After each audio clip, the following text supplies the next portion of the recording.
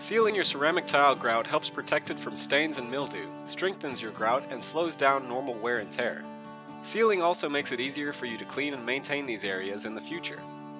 We recommend using a penetrating grout sealer such as Miracle Sealant's 511 Impregnator Sealer, which can be purchased at local hardware stores along with all the other supplies you will need.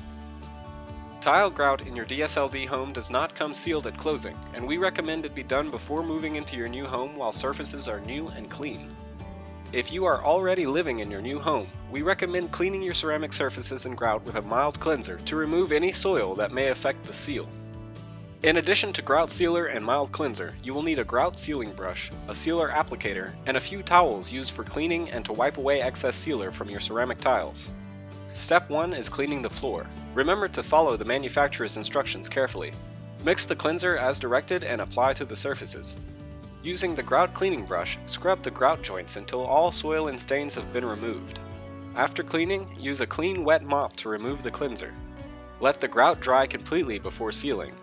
Drying may take a couple of days and a fan may help with this process. When you're ready to seal the grout, fill your applicator with the penetrating sealer and apply it to the grout only. After applying the sealer, wipe excess sealer off the edge of the tiles with a dry cloth. Seal a small area at a time so you can prevent the sealer from drying on the ceramic tile. After applying the sealer to the ceramic grout, let it dry.